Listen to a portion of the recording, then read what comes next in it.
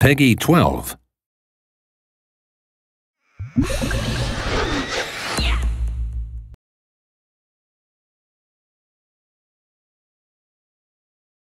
Hi, this is Dan Moskowitz. In this video, we'll show off our new simulation engine, Glassbox, and how we're using it to simulate the basic economic loop between residential, industrial, and commercial buildings. Keep in mind that this demonstration is showing off simulation behavior and not graphics.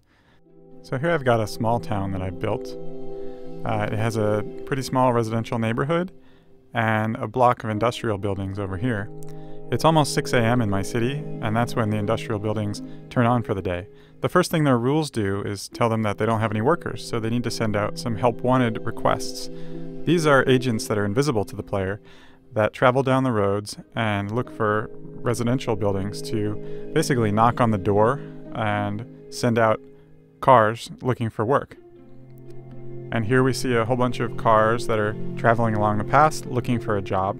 They're going to travel to the first available job using the virtual distance field to do their navigation.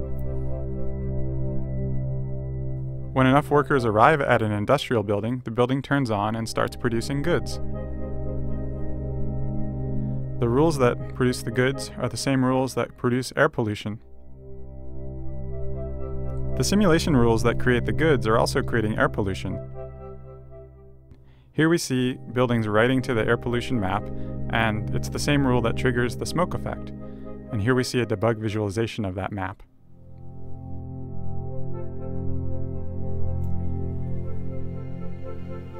As each industrial building produces goods, it sends out freight trucks that deliver from the industrial zone to the commercial zone.